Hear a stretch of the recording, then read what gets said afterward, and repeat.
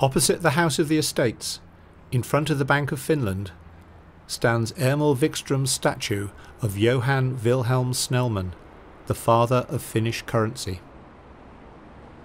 This grand monument has remained a symbol of Finnish democracy through hard times, as can be seen in the damaged plinth of the statue, caused by the aerial bombing of Helsinki during the Second World War. Snellman, an advocate for Finnish education and a pioneer of modern national society, was appointed to draft the agenda for the 1863 Diet of Finland. In the spirit of Alexander II's programme of renewal, Snellman pushed through the currency reform needed to establish the country's own currency, the Finnish mark.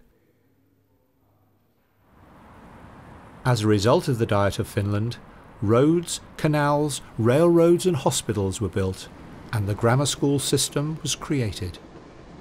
The Finnish language received official status, and the basis for municipal self-rule was created.